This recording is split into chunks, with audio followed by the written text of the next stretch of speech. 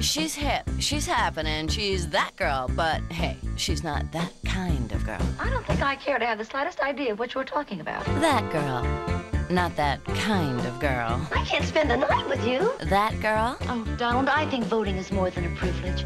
I think it's a sacred trust of a free society. Not that kind of girl. We asked for two single rooms. That girl.